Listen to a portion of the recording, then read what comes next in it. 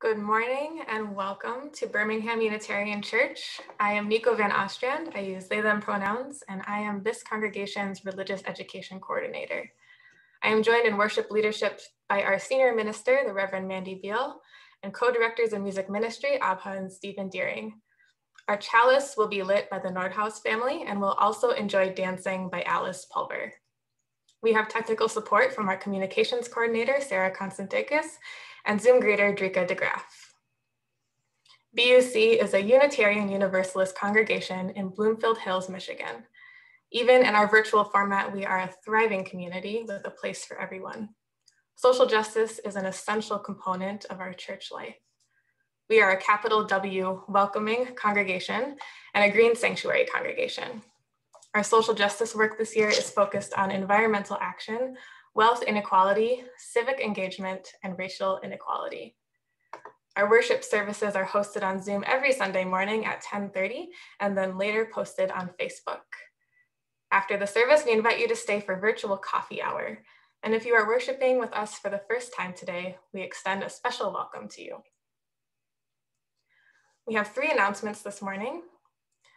Calling all BUC bakers, the Bake Off fundraiser is coming up on February 14th. Show your love for the BUC community and religious education by volunteering to be a baker. You can sign up to be a BUC baker through Monday, January 25th. The link to sign up is in your weekly email update or look for the orange button on our website. BUC Environmental Action invites you to Kiss and Tell, Kiss the Ground is a full length documentary about regenerative agriculture, which has the potential to balance our climate, replenish our vast water supplies, and feed the world. You're invited to view the film, that's the KISS part, and then join us on January 26th to tell us what you thought about it in a discussion led by a member of Sierra Club Michigan. You can stream the film with a Netflix subscription or create a free account on Vimeo and rent it for $1. After you've watched the film, join us on Tuesday, January 26th at 7 p.m. for the discussion. Zoom access info is on the calendar. And finally, join us this Tuesday, January 19th at 7 p.m. for the next Confronting Racism group meeting.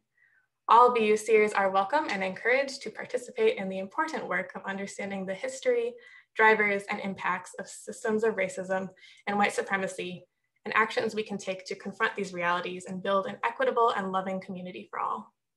Zoom access info for Tuesday's meeting is on the calendar. Thank you for joining us this morning or whenever you're watching this. Although we are not together physically, we are together in spirit and it is good to be together again. And now our service will begin.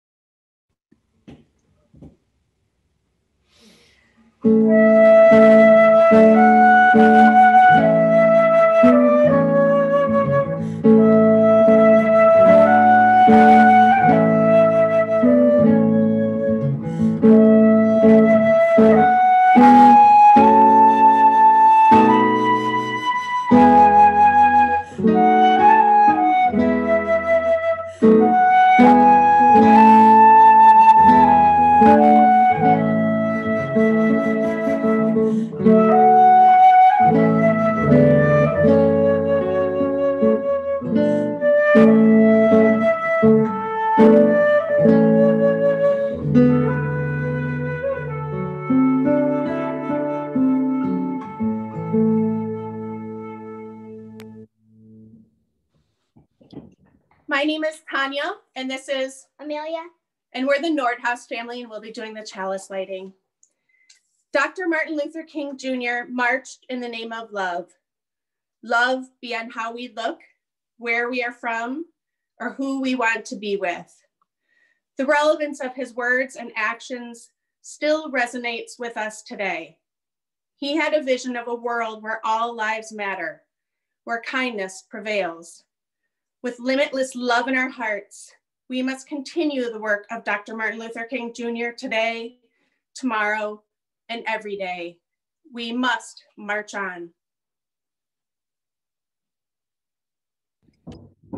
Yes, perfect start to our first hymn.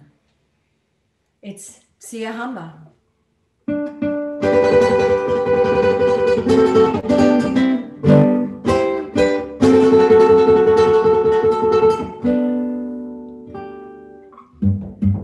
You know this hymn now. Let's look forward how we can embody Dr. King's message with marching, singing, and dancing. Let's see you up on your feet. Big breaths. Here we go. We are.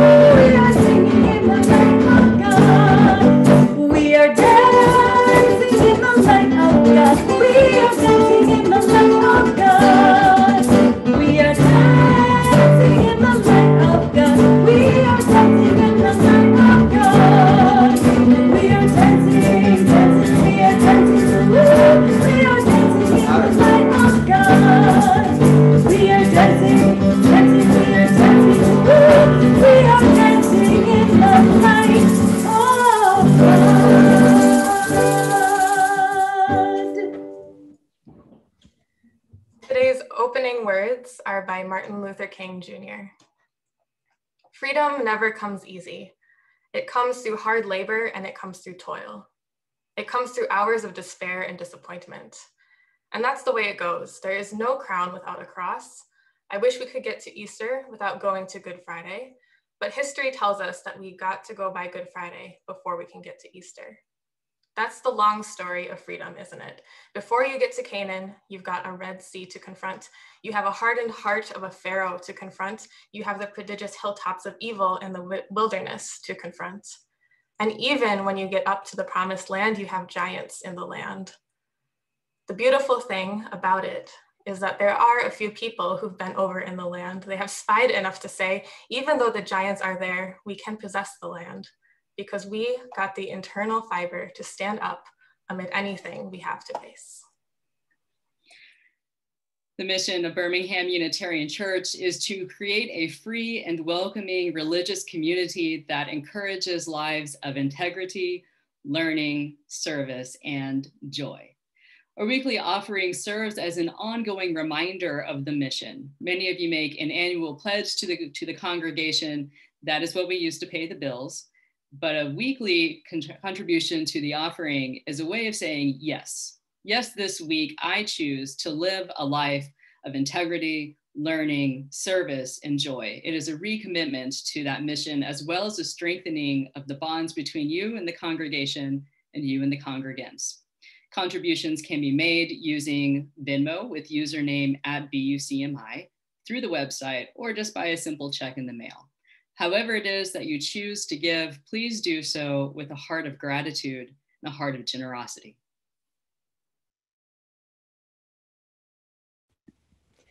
The offertory song this morning, you will recognize, is written in 1984 as a tribute to Dr. King. Songwriters are Adam Clayton, David Evans, and Paul Hewson, and U2 recorded this. Join in and sing.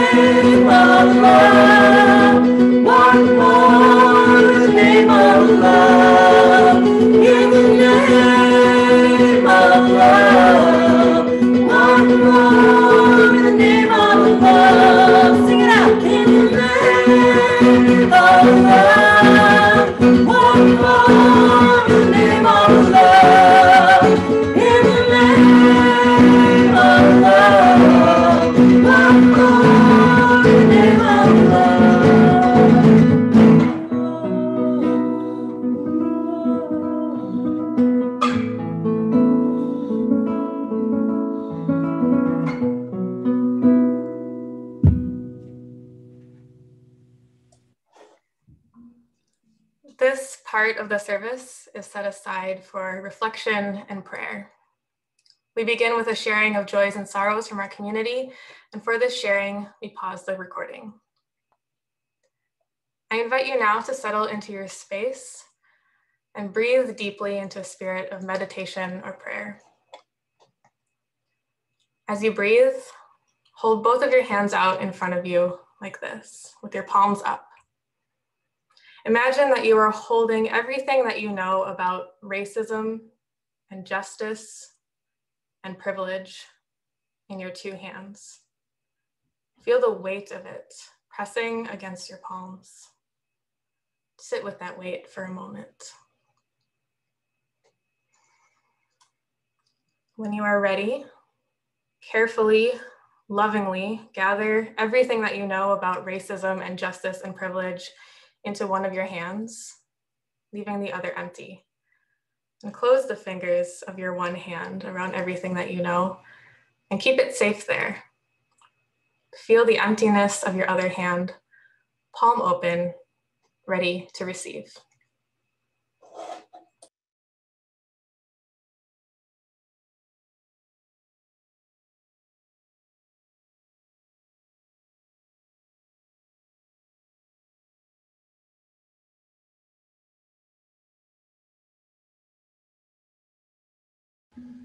Sure.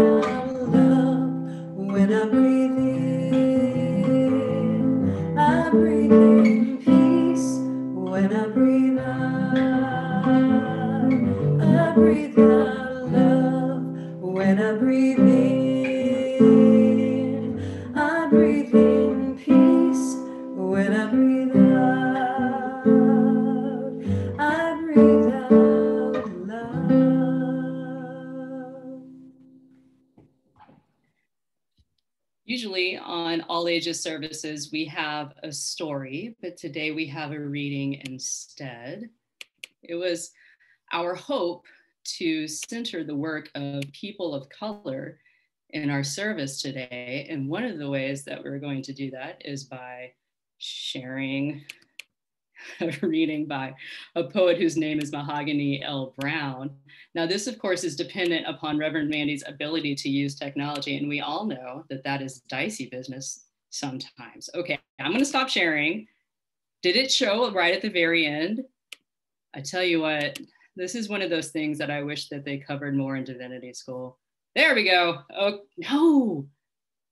Why?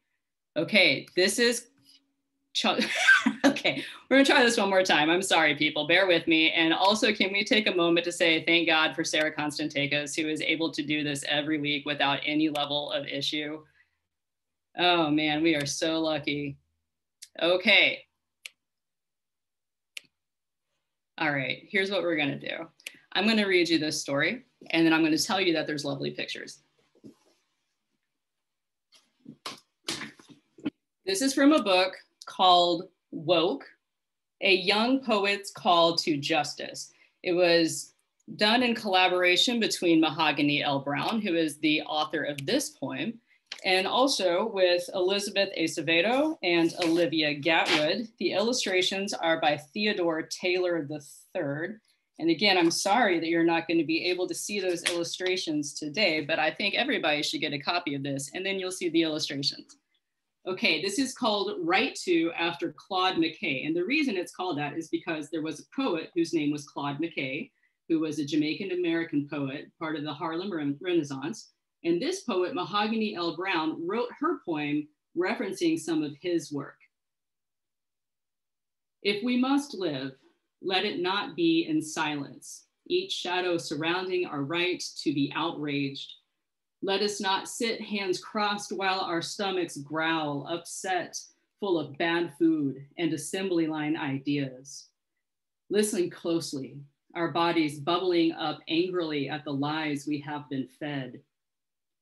If we must live, let no one decide how our hearts will beat or how our song should be sung, or if our neighborhoods are worth protecting, or if we are allowed to walk into stores freely.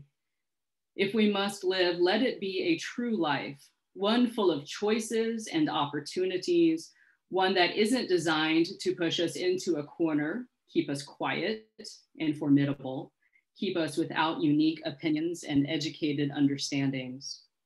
If we must live, and we must, let it be with our fists in the air to remind the people that we will speak up for what is right, we will always stand up against that which brings harm.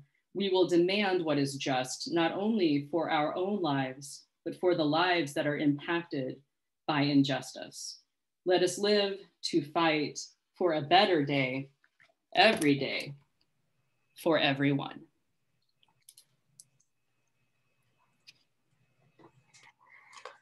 Today's homily is for people of color.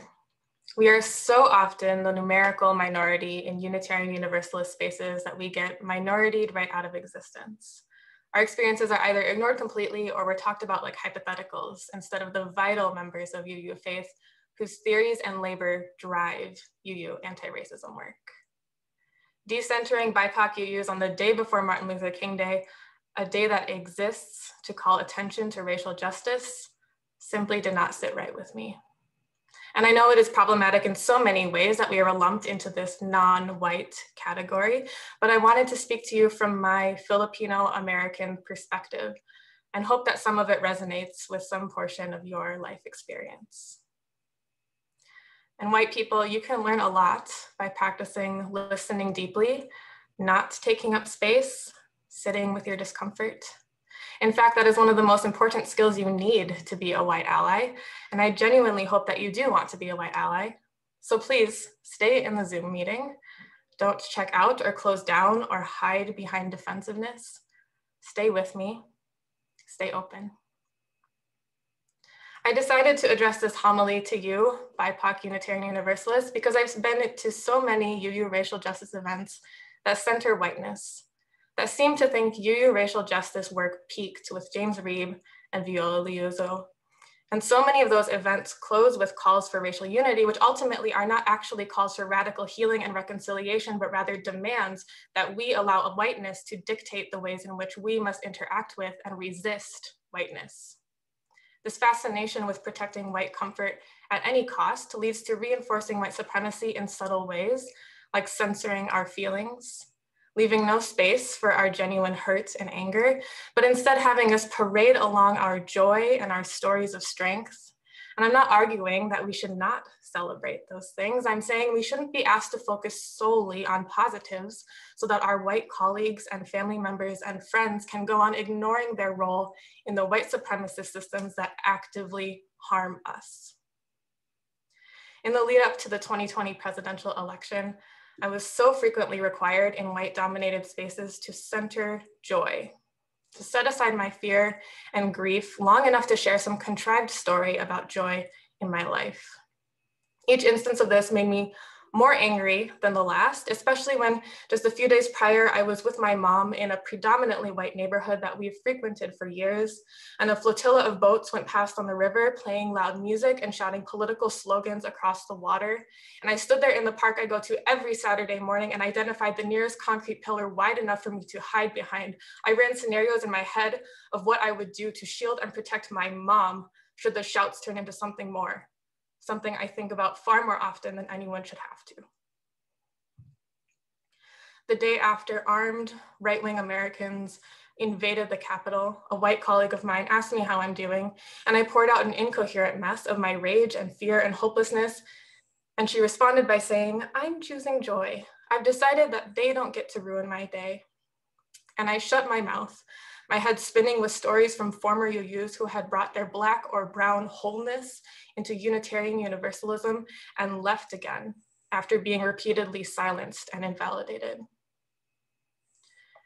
Unitarian Universalism does have some harmful roots and practices, and it calls us to be better. It's a challenging duality, but there is no alternative for our faith or for our country racial unity of the kind Martin Luther King dreamed of requires us not to diminish ourselves to the comfort level of white supremacy, but rather to feel and embody joy on our terms. In this morning's opening words, Martin Luther King reminds us that others have seen the promised land. He says, they have spied enough to say, even though the giants are there, we can possess the land because we got the internal fiber to stand up amid anything that we have to face. This doesn't mean possessing the land in the way of European colonizers stealing land from indigenous peoples through genocide, but rather a claiming of space. It's flooding phone lines and inboxes with calls for justice for uprising arrestees and people on death row. It's indigenous creators on social media dancing and celebrating their traditions and raising awareness for missing and murdered indigenous women. Claiming space is mar marching for racial justice and ending up surrounded by hundreds of police officers with their guns and riot gear, armored cars and officers on horseback, a tank rolling up towards us, a helicopter spotlight shining down, the anxiety threatening to bubble out of my stomach, cold and hungry, and stuck there for far longer than we'd intended, and music. A spontaneous dance party, mostly Black, Indigenous, Latinx, and Asian youth, that raw joy of daring to claim space, dancing and singing at a protest as a form of protest. If we must live, says Mahogany L. Browne, and we must, let it be with our fists in the air. Joy is loud. It takes up space and demands better for us. If not for us, then for our loved ones, and if not for them, then for everyone who comes after us. One of the many often repeated quotes from Martin Luther King tells us the arc of the moral universe is long, but it bends towards justice. Barack Obama, the only Black president in this country's 244 year history, loves this quote too. And it's actually a paraphrase of a sermon by Unitarian minister Theodore Parker. And all three of those leaders' lives in different ways illustrate the long, long arc of the moral universe. Yet none of them meant that we get to put our feet up and trust the arc to bend on its own. That arc does not exist naturally. It is not predetermined. I imagine many of you have personal, painful stories that show this to be true. Recent history and the threats of further violent attacks in the coming days have shown us that forces of white supremacy and injustice of all kinds continually try to halt justice. The arc of the moral universe bends towards justice only because we work hard to make it so. As I watched live streams of the attack on the Capitol on the 6th, I lay on my floor with a headache and a pit in my stomach, feeling the now familiar weight of hopelessness and fear, combined with a weary unsurprise, wondering desperately how I can still believe in racial justice and abolition in the face of such blatant white supremacist violence. But I must believe that racial justice is vital, not only because my values and principles call me to, but also because giving up on racial justice is giving up on the path that leads to that promised land, to joy. Racism is destructive and violent and affecting us right now. It is affecting our quality of life, our health, our interactions with others. We deserve so much better, and we may never get it. But I am comforted in my conviction that it is not important that I ever set my own eyes on true racial justice as long as someone makes it over those hilltops to see it. This is a movement, not a solitary journey. This is one heartbeat in the long arc of solidarity and justice. And I don't mean this to take away from the reality of pain and suffering in this moment. But I am clear in my mind that there is no way forward except to aspire through our every action for justice. If not for us, then for our loved ones. And if not for them, then for everyone who comes after us.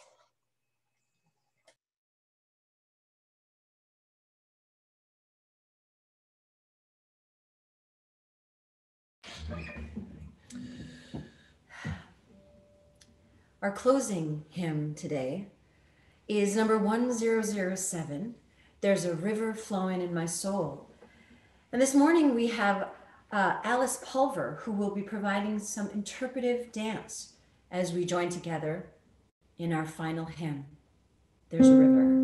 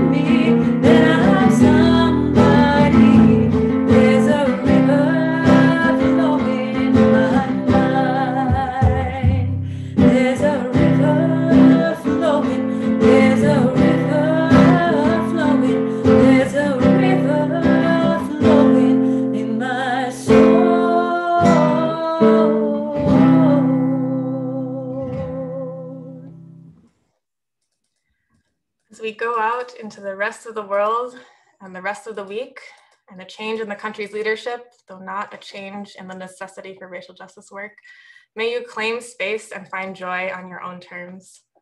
In the words of Octavia Butler, so be it, see to it.